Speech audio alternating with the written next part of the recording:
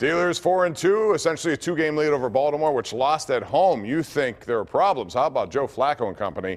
You know, you, you think everything is fine. They win a game, and then you get a report tonight from Ian Rapoport of the NFL Network that Martavis Bryant, at least according to him, has requested a trade once out of Pittsburgh.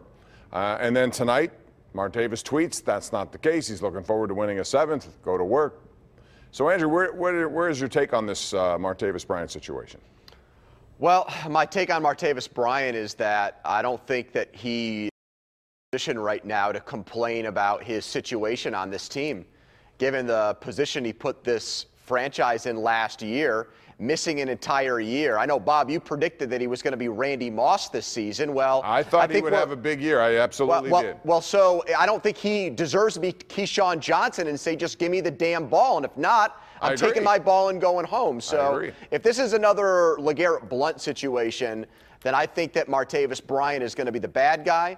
Uh, it, this has also apparently been confirmed by Mark Kaboly, who's a reporter that I have a lot of respect for. So if this is the case, well, then I think it's a bad job by Bryant. What's he upset about? What's he so mad about here? I mean, well, because Juju got a few more snaps. They decided to bump him outside because they wanted to activate Eli going into this game. Yeah, they traded Coates, Tim. I mean, he wanted that this Still, he's still the second best target right now, I think, unless he feels like the, to use a Tomlinism here, on the ascension is Juju and he's descending. But if he is, it's his own fault because he hasn't been that good. yeah, catch the, the ball. And I, and I, know the quarterback hasn't been on his A game either, but uh, in general, where's he come off needing a trade at this point? I, I, still think he's viewed as the second best target. It's not that there's a tight end there or anything for them to look at. I, I think he's overreacting.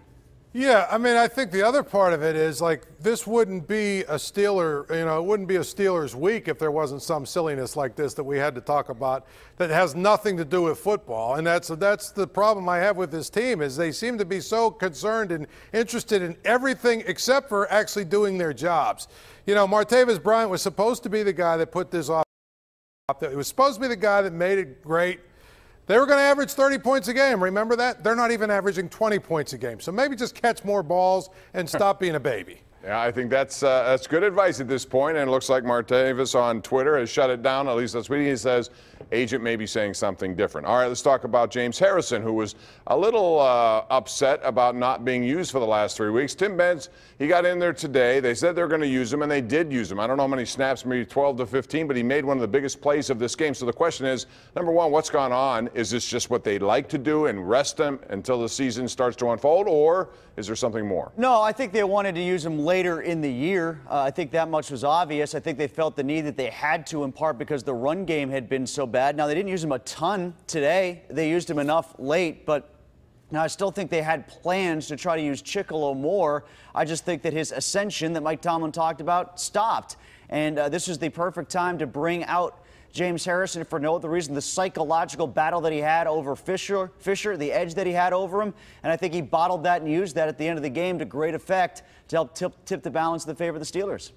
Yeah, I think the other thing is if they're going to just roll him out for the big games, okay with that. I mean, then you have him fresh for the for the playoffs. Um, I, I, don't know. Why does he need that though, Paul? Well, I'm just saying. I don't know. I don't. know If if that's the way they feel, he's 39 years old. I mean, you know, do you want him playing a ton of snaps? I don't know. If you think he's good enough.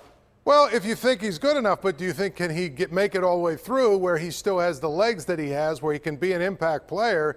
That's the question you have. I mean, to me, I, I think you could probably dress him every week and play him a few snaps and you know and preserve him that way. But if the plan would be any big game against a really good team, we're going to play him. I'm okay. You know what I don't like about that is that feeds into the mindset that the Steelers treat one game different from the next. So I hope that they don't do that. This idea that this week Keith Butler's like, I've got an ace up my sleeve. Here comes my secret weapon. This is why they lose to teams like Jacksonville and Chicago, folks. Because now suddenly, oh, we see a game we should circle on our calendar. Let's play our best guys now. And I think that feeds into the, the, the outside narrative that the Steelers get up for certain games and don't for others. So if you think James Harrison's a really good player, well, why keep him on ice for different games? Is Cincinnati a big game? Yes. Is this one where you'd use him? Yes. Okay, so how about Detroit? That's not a big enough well, game. I, I don't know. What I'm saying, yeah. I'm not saying that. I, I'm saying if that is indeed the plan, I'm okay with it, but but I would rather him dress every week and then use him only four, five, eight, ten sla- snaps Yeah. instead of picking and choosing what games they use him If he's, for. if he's only going to be used that much, and that's the only amount of time he's spelling TJ Watt, then I'd rather have him do that than not play it at all for stretches at a time, like basically the first four games Uh, of the but year. when Jordan Howard's looking like Walter Payton, why isn't James Harrison in the right, game? Right, he should have dressed that game, or he should have played that game at least. Yep. Well, Baltimore could have used him too because he chewed up that uh, team down there. Howard had 167 yards rushing today. All right, now, ladies and gentlemen, it's time for our Smooth Moves segment. Let's go round the horn. Smooth Moves brought to you by Pittsburgh's largest supplier of the smoothest granite, marble, and quartz countertops. So we will begin with you, uh, Mr. Andrew Fillipponi. What is your smooth move of the week? Bob it's a big one. How about the second oldest quarterback in the league, Drew Brees?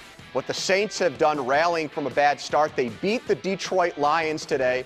They almost scored 60 points. They beat them by more than four points, and I know in a lot of places that was an important final score. Yes, it was. Well played, Sean McDonough there with that reference. Uh, speaking of which, why not? I mean, this one's obvious, right, Bob? Isn't it obvious? What happened to the uh, shirt? You took it off. Well, I- I'm dressing in layers tonight. Uh, so Syracuse beating Clemson on Friday night. That's got to be the smooth move. Storming the Carrier Dome, biggest football win maybe since McNabb was there in what, 99? I'm going to go with smooth move this week. Phil Bennett, you know, former Pitt defensive coordinator, who might actually save the job of a former Pitt head coach, Todd Graham. I don't know if you saw last night, but they upset Washington. Uh, and Phil Bennett actually has that defense playing the way you're supposed to play defense as opposed to high octane, fast, fast. Let's go after the quarterback and get beat every.